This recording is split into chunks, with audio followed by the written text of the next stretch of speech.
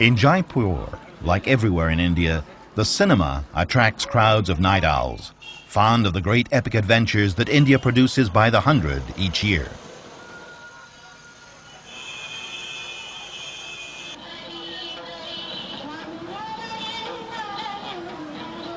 Nighttime is also the time for the population to go to temples and to make their daily offerings to gods.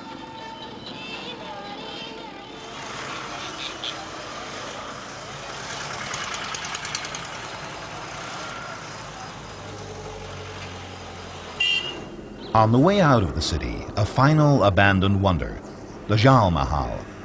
This palace in the Indo-Mughal style was the summer residence of the Maharajas.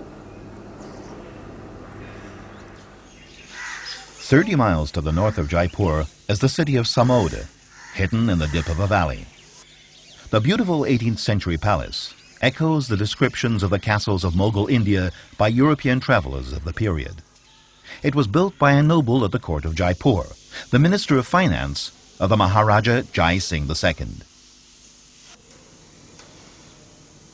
The interior, like the setting for an oriental fairy tale, is made up of a succession of galleries covered with paintings.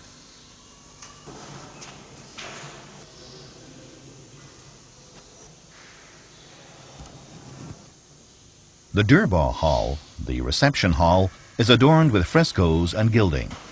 Still today, the prince's family lives in a wing of the palace. As in Udaipur, the Samode Palace has also been transformed by descendants of the minister into a luxury hotel. Its charm makes it a prized place for the young, rich Indians who come here for their honeymoon.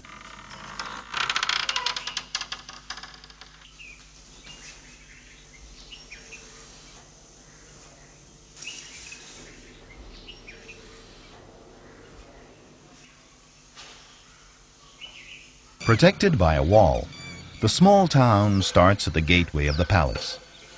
Life revolves around the main street. The population, much smaller today than in the past, once lived a richer life because of the passage of the caravans that connected Jaipur to the northwest of India.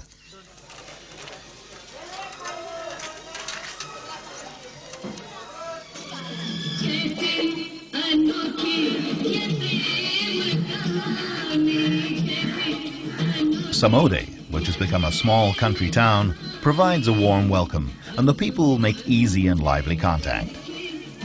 The women and children go slowly and calmly about their work, without startling the visitors.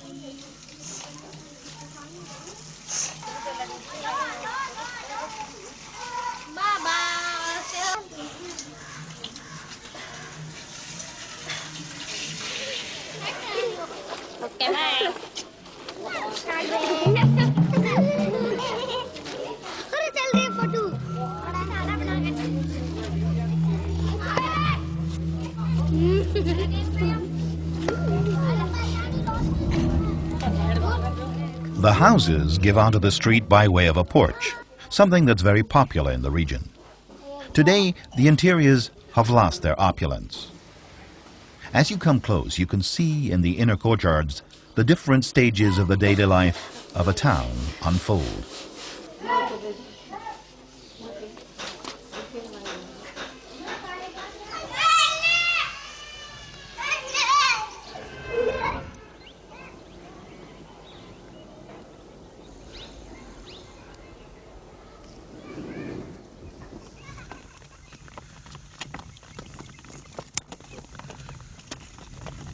With a very rural tradition, Rajasthan is a region where man feels a great respect for nature and animals. There's very varied wildlife that lives in close communion with the human population.